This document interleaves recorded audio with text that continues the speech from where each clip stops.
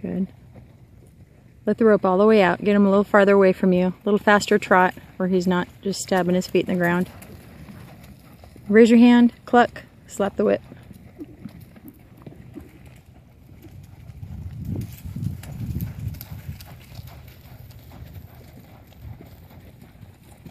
Good. Now when you yield the hindquarters, all you're going to do is tilt your head and look at his hip.